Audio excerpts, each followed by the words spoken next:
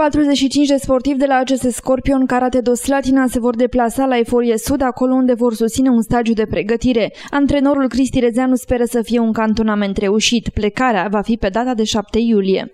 Vom avea două antrenamente pe, pe zi, unul dimineața și unul după amiaza. Primul antrenament de dimineață va fi uh, doar pentru uh, viteză, forță, rezistență și celelalte calități motrice, iar apoi uh, vom avea antrenament tehnico-tactic după amiază, bineînțeles pe mai multe sisteme, așa cum am spus, o să începem și pregătire pentru jiu-jitsu, deja am discutat cu câțiva antrenori care ne vom întâlni acolo, uh, vor veni și dânsi cu, cu sportivi de la cluburile lor și vom avea un schimb de experiență, karate, semicontact, uh, jiu-jitsu, puțin judo, de ce nu, Vrem să învățăm uh, copilașii cât mai multe uh, stiluri de arte marțiale. Tot în stagiul de pregătire de la mare vor fi și examinări de grad.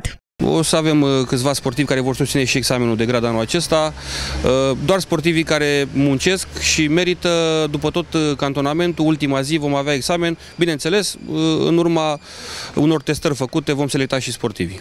De la jumătatea lunii iulie, karateca antrenată de Cristi Rezeanu va intra într-o bine meritată vacanță până în luna septembrie.